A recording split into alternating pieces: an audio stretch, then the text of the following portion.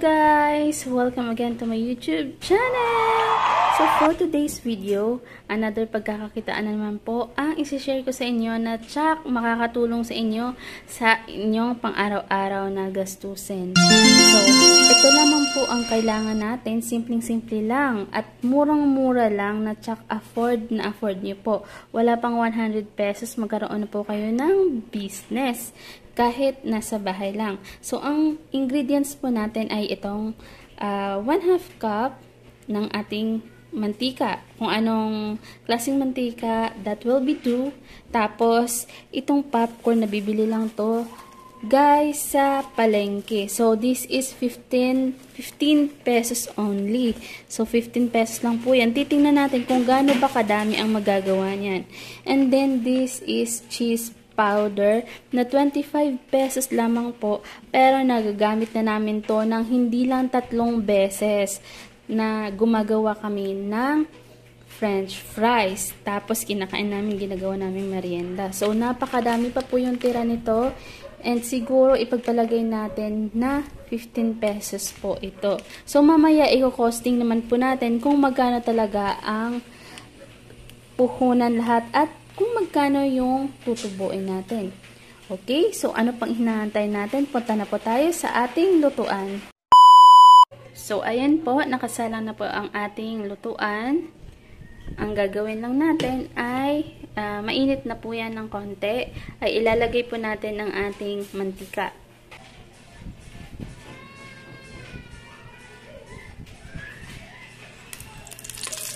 Tapos, ilagay na po natin ang ating corn. So, hindi ko po alam kung gaano kadami ang dapat ilagay dito para mapuno ang ating lutuan. So, konti lamang po muna. Siguro kalahati. Ayan.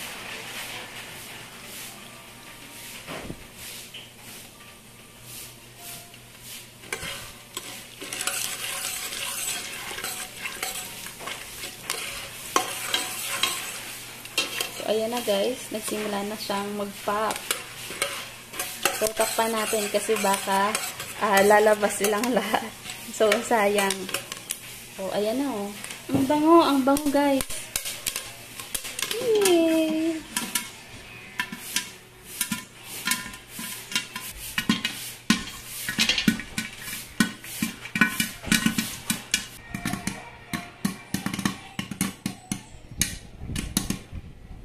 So, ayan po, natahimik na siya. Pahinaan natin ang ating apoy. Kasi baka masunog. Siguro, oh, nakapap na siya. So, ayan. Wow! Muntik na mapuno, oh. So, ang dami pala magagawa. Ayan, oh, ang dami. So, lipat po natin siya sa ating lagayan muna. And then, maglagay tayo ng pangalawang batch.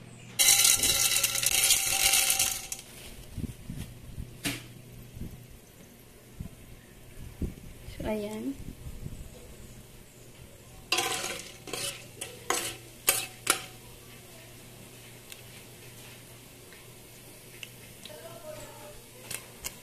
So, ayan, nagsisiwala na naman po siya. So, tatakpan na naman po natin ulit.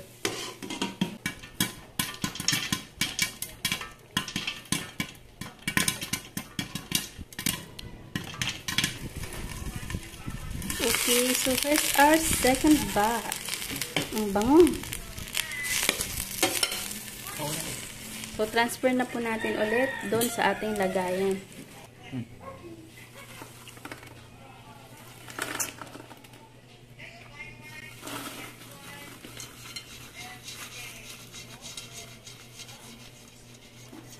Wow.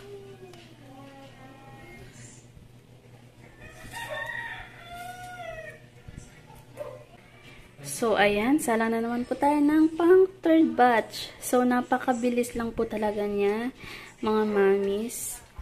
At saka, ang mura ng mga ingredients niya. Promise. Malaki talaga ang tubo. Ay, ano ba yan? Tatakpan ko na sana. okay, so, siguro kasya na to. Ilagay na natin siya. Grabe, no? 15 pesos lang. Tapos, ang dami na nagawa. Tapos, kung bibili ka sa labas, 10 pesos mo, hindi naman siya ganun kadami. So, mas maganda magluto ka na lang. Maka-merienda ka na, may pangtinda ka pa, ba? So, takpan ko na to at baka matalsikan ako. So, ayan po, third batch is done! Yay!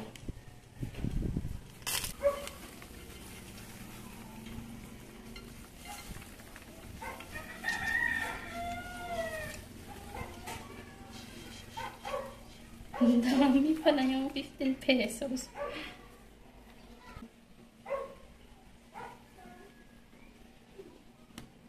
Okay guys, so it's done. Tapos na po ang ating pagluluto. Ngayon naman po ang gagawin natin ay magre-repack na po tayo.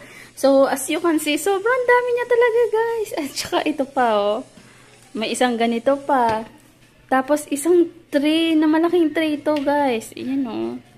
Malaking tray yan. So, ang dami pala talaga magagawa sa 15 pesos mo na popcorn.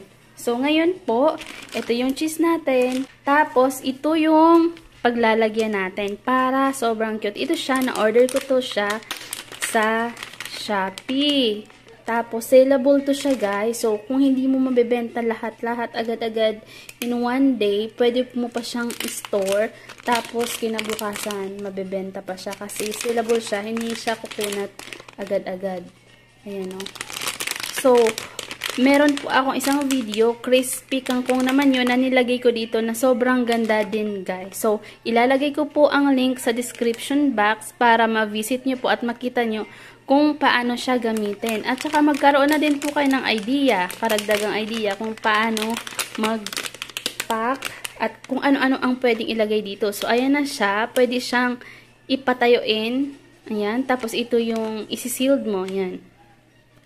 So, ang gagawin po natin, guys, ay itong isang ganito. Dito siguro natin ilagay yung cheese. Bawasan lang natin ng konti. Ang dami, oh. Yan. Tabundok. As in, ang dami niya. Oh. Malaki kaya to. Para ma-mix natin. So, lagyan natin siya. Kayo na po yung mag, ano, kung gano'ng kadami ang ilagay niya. Tapos, takpan natin. Mano-mano lang to guys, kasi wala naman tayong mixer. Yan. So, parang hindi pa, puti pa yung iba. So, dagdagan natin.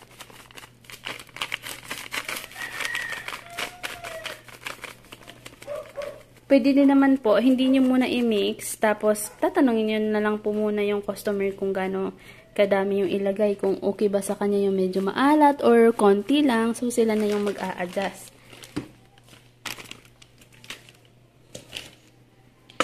Eh, sa atin kasi ilalagay natin siya sa pouch, kaya titimplahan na natin. Huwag naman yung sobrang dami, ba? Uyun. So, ganyan. Yan. So, okay na yan, guys. So, ipapak na po natin. So, ito yung pouch. Tapos, lagyan na lang natin dito. Titingnan din natin kung ilan talaga, ilang pouch yung ayan na may kumuhang bata. Yung magagawa natin sa 15 pesos na popcorn. So, sobrang naamis ako guys. Kasi ngayon lang po talaga ako nakagawa ng ganito. Kasi ang kadalasan na ginagawa namin ay crispy kangkong or french fries. So, ito na isipan lang namin na itry. Diba? Diba ang cute niya?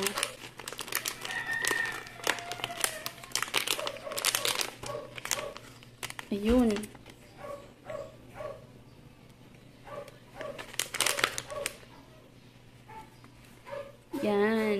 O, diba po? Sobrang cute niya. And then, one more thing. Meron po ako nabiling sticker na thank you sticker. Pampa-cute lalo. So, pang-pa-attract lalo sa mga customer. So, ilalagay din po natin dito. Si, so, ito po yun siya, guys. 50 pesos lang po ata to. Ang isang ganito, 500 pesos na to. So, adhesive kasi ito siya. Ayan. Tapos, ilagay natin dito. Thank you. Diba, ang cute niya? O, diba, ang cute na, guys? Oh. So, ayan, mag-pack na naman tayo ulit. So, titingnan natin kung makailang pack tayo.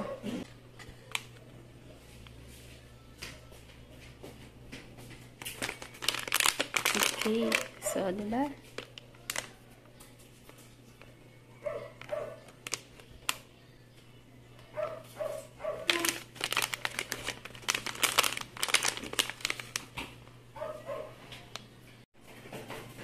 So, ayan na po guys. Tapos na ang ating pagre-repack. So, nakagawa tayo ng 15 So, ang ginawa packs. ko po ay voice over So, na 15 lamang packs ang para nagawa natin dun sa din po 15 ang ating pesos na At dahil na din po yung anak ko Okay, ay so as you can na see, at gusto nang matulog. Malaki siya. Okay, Sobrang so cute din niya at saka madami din 10 siya. pesos. So, pwede natin siyang ibenta 10 pesos na ng rin po kasi 15 to konting-konti 20 lang naman pesos. Pero sa akin, 15 Popcorn, lang ang nga, 15 pesos. ah, ilalagay ko sa ating pouch, posting. So, 2 titingnan natin kung magkano each ang tutubuin natin. 15 packs Okay? ang So, natin. mag-costing so, na po 30 tayo. pesos lang po yun. Ang total ng ating puhunan ay 65 pesos.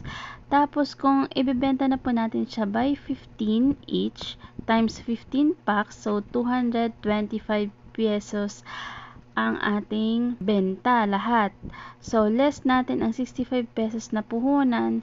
So, ang tubo natin ay 160 pesos po. So, imagine, 160 pesos ang tubo natin, 15 pesos lang po ang ating uh, corn grits. So, napakalaking bagay na po para sa atin mga mamis kung ito ang gagawin nating business. So, lalo na po kung ang gagamitin natin ay yung plastic lang po na regular. So, mas mura po iyon. So, ibig sabihin, mas tutubo ka ng malaki. So, ang kagandahan lang po kasi dito sa ating pouch ay kahit abutan na po ng kinabukasan, hindi siya kukunat kasi sellable siya. So, nasisealed siya, hindi siya napapasukan ng hangin. So, na-expand ang kanyang lifetime. So, or shelf life. So, kaya, mas maganda din po ang ganito. Pero, pag wala po kayong ganito, okay lang po na plastic ang ating gagamitin. And which is mas affordable din sa mga bata. So, cute lang siya. Sobrang cute lang siya. Kaya, okay din na ganito yung gamitin nyo. Okay po guys. So, sana po may natutunan kayo at may nakuha kayo sa ating vlog ngayon. Ingat po guys and God bless. Bye. See you. Don't forget to like and subscribe.